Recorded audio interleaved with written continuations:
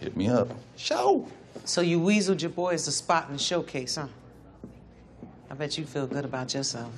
Oh, yeah, I feel real good. You know what the judge said to Simone today? She looked her in the face and told her she had to go back to juvie. Damn. I mean, that kid can't catch a break. This showcase is her break.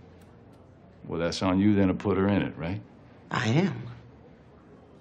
It's hard to compete with pillow talk. Oh, here we go. You know what? Look, I put together a strong act, okay? I gave Ayanna what she wanted. I bet you did. You know what, Lottie? Don't even go there. I promise you, I ain't never going there again.